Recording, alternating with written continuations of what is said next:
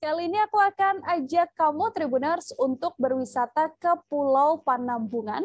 Mungkin bagi sebagian orang pulau ini masih terdengar asing apabila dibandingkan dengan pulau-pulau lain yang ada di Indonesia. Pasalnya pulau yang termasuk dalam gugusan Kepulauan Spermonde di Provinsi Sulawesi Selatan ini letaknya masih tergolong tersembunyi. Pulau ini sendiri dikelilingi oleh pasir putih yang lembut dan juga laut birunya yang super jernih. Pepohonan pinus yang banyak tumbuh di sekitarnya juga membuat pulau ini begitu teduh dan juga sejuk. Bahkan, Tribuners, kamu juga bisa melihat banyaknya biota laut yang masih terjaga ekosistemnya, mulai dari terumbu karang hingga berbagai jenis ikan. Bagaimana penasaran tidak sih dengan bagaimana keindahan Pulau Panambungan ini? Berikut kami hadirkan liputan selengkapnya untuk Anda.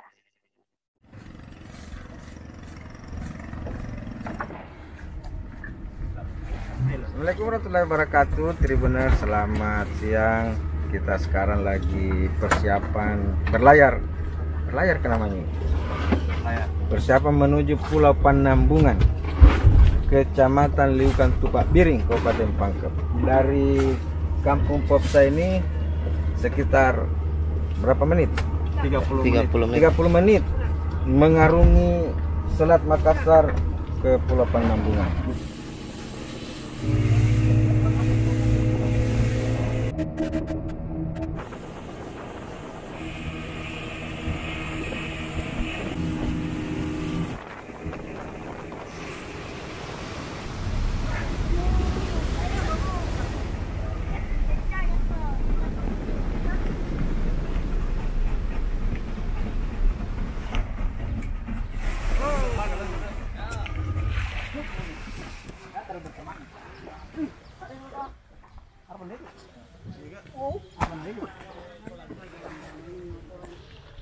Ya, Tribuners setelah kita melakukan perjalanan laut sekitar 30 menit dari Kampung Popsa Makassar, kita tiba di Panambungan Island, Pulau Panambungan, Kecamatan Liukan Tupak Biring, Kabupaten Pangkep. Dan tadi saya cukup surprise, takjub melihat lebih dekat pulau ini karena dari kejauhan tadi pulau ini kelihatan sangat rimbun sekali seperti hutan di tengah laut.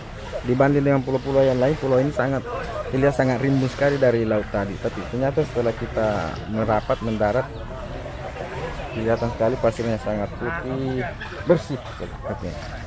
Dan di sini sudah ada ratusan orang yang mendahului kita, bahkan ada yang sudah bermalam di sini untuk persiapan pendampingnya mendampingi tim aksesoris, asesos, asesor, asesmen dari UNESCO di Pulau Panambungan.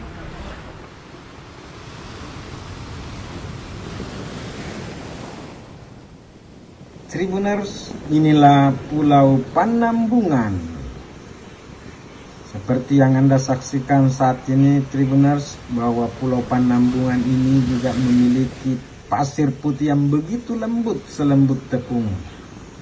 Jadi kalau kita berjalan di di sekitar pantai, kaki kita seperti sedang berpijak di tepung yang begitu lembut. Dan luas Pulau Panambungan sendiri ini hanya seluas lapangan sepak bola atau sekitar 0,82 hektar. Tapi terumbu karangnya itu seluas 9,12 hektar. Untuk menjangkau pulau ini kita bisa memilih tempat keberangkatan dari beberapa tempat, bisa dari Kabupaten Pangkep, dari Pangkep sendiri bisa dari Kelab Bakang, Macinik Baji, bisa dari eh, Kota Pangkajene, Sungai Pangkajene, dan dari Makassar sendiri kita bisa menjangkau pulau ini dari Pelabuhan Raya Potere, dari Kampung Popsa, dari Pantai Indah Boswa sendiri. Terima kasih.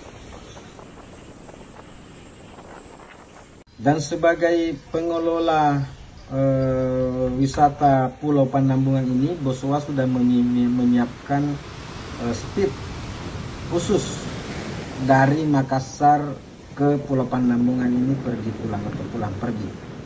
Speed Boswa wisata ini ada tiga jenis yang bisa kita gunakan ke Pulau Panambungan ini.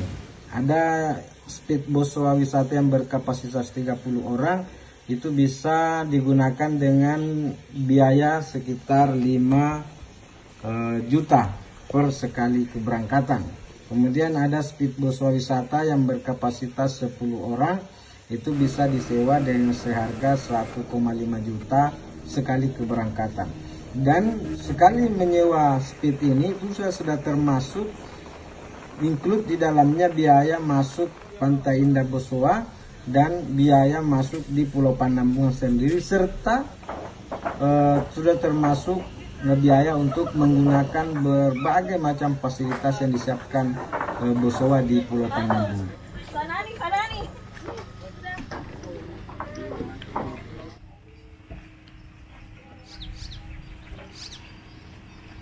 Tribuners sesuai dengan rencana PT Bosowa atau Bosowa sebagai pengelola Pulau Panambungan ini itu akan mengintegrasikan wisata Pantai Indah Bosowa di Jalan Metro Tanjung Bunga dengan uh, Pulau Panambungan ini. Untuk itu mulai bulan depan uh, Bosowa akan membuka atau mem, uh, melayani uh, pelayaran khusus dari Pantai Indah Bosowa ke Pulau Panambungan setiap hari. Jadi speed yang disiapkan Bosowa dari Pantai Indah Bosowa Makassar ke Pulau Panambungan itu berangkat jam 7 pagi dan kembali ke Makassar pukul 15.00 atau pukul 3 sore. Jadi tema tribuners yang bermaksud ingin menikmati suasana di Pulau Panambungan silakan ke Pantai Indah Bosowa di Jalan Metro Tanjung Bunga sebelum pukul 7 karena setiap pukul 7 pagi itu speed yang dimiliki oleh Boswa itu sudah bergerak meninggalkan Paintang Indah Boswa menuju Pulau Pandambungan.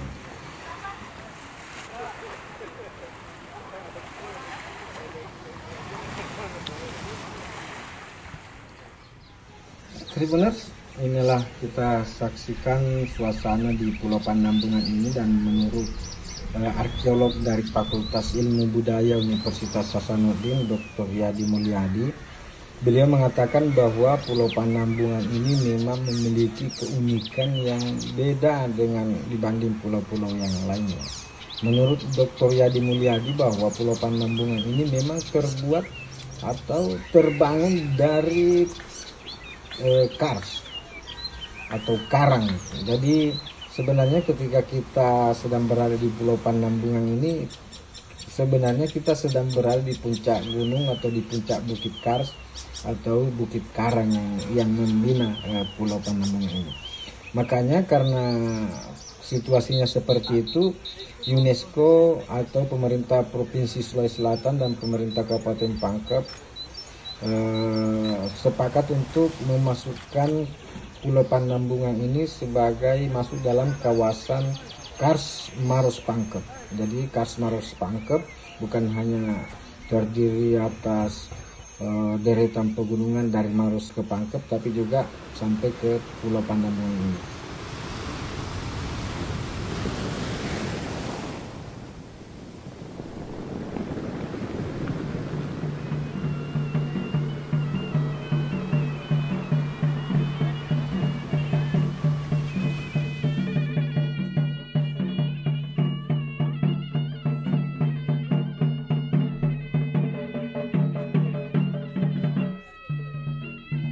Dan seperti kita saksikan Tribuners bahwa tim UNESCO itu sudah mendatangi Pulau Panambungan ini, mereka menyelam di sekitar pantai Panambungan, meneliti terumbu karang yang ada di, di sekitar pulau ini dan mereka juga melakukan penanaman ulang atau e, menurunkan e, karang untuk bisa kembali menghidupkan habitat laut ini sehingga ikan-ikan yang ada di sekitar Pulau Panambungan ini kembali memiliki rumah yang indah yang sekaligus bisa dinikmati oleh para penyelam di Pulau Panambungan.